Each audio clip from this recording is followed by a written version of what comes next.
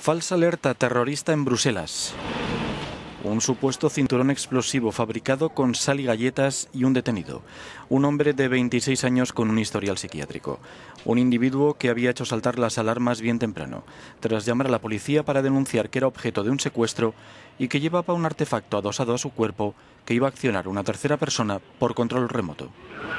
La persona es Se trata de un individuo conocido de la policía belga por sus problemas psicológicos. Psicológico. Además, fue objeto de unas diligencias de la Fiscalía Federal en 2014 y más recientemente se puso en contacto con la policía para denunciar que estaba siendo forzado para viajar a Siria y combatir con el Daesh. Aunque todo ha quedado en un susto, las autoridades belgas continúan investigando al detenido para descartar cualquier vínculo con actividades terroristas.